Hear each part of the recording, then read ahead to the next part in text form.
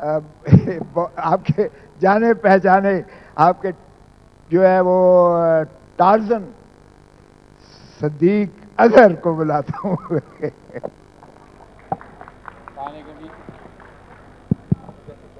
अलैक्म जी। बहुत शुक्रिया जी। बड़े एजाज की बात है। आज बार पॉलिटिक्स से हट के हम एक सही जेनवन फ़ंक्शन देख रहे हैं और खुशी सबसे बड़ी इस बात की है कि ख्वाजा अहमद तारक रहीम साहब, जनाब सरदार खुसा साहब और एतजाज एहसन साहब, ये बेड़ा आज इन लोगों के जिम्मे जाता है जो प्रोफेशनल लोग हैं। यानी ये कोई सियासी एजेंडा नहीं है, ये प्रोफेशनल लोग हैं जो प्रोफेशन के साथ जिन्होंने अपनी एक ज़िंदगी गुजारी है। मैं तो जब इनसे मिला, इनकी तकलीफ़ और दुख देख के, इस अदलिया के लिए, इन्होंने जो इन्होंने जो जद्दोजहद की है मैं तो वो नारा नहीं भूलता। चीफ जस्टिस हमारी रेड राइल है। ये याद रख लें। ये कोई सोचे समझी बात नहीं है।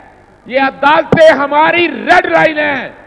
हमें याद है, जब लॉयर मूवमेंट शुरू की थी तो हमने कहा था, आँखें निकाल देंगे, जो हमारी अदालतों की तरफ़ देखेगा। अब भी सुन लें, आँखें निकाल देंगे उनकी, जो हमारी अदालतों की तरफ़ देखेगा। जो हमारे चीफ जस्टिस की तरफ़ देखेगा, ये हक को बातिल की जंग है। याद रखिएगा, अगर ये अदालतें हैं तो हम हैं। ये अदालतों की वजह से हमारी पहचान है। इन अदालतों ने इस मुल्क को सही सिमत पे लाना है। ये चंद सियासतदान जो एक एजेंडे के तहत बाकायदा अदालतों में तकसीम चाहते हैं वो तकसीम नहीं हो सकती है।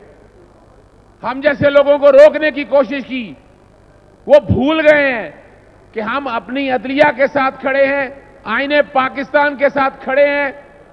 इतने बुजदिल हैं कि भाई बम धमाके करने सामने खड़े हैं। सामने आकर वार करो। और ये याद रख लें, ये जद्दोजहद जारी रहनी है। ये ये बुनियाद इन तीन सीनियर्स ने रख दी है। और हम इनके पीछे खड़े हैं एक सिपाही की तरह। हम एक सिपाही की तरह ये किरदार अदा करेंगे और इनके शाना बशाना चलेंगे और इन जीत हमारी होनी है। हम मुल्क बचाने चले हैं। आओ हमारे साथ चलो। अब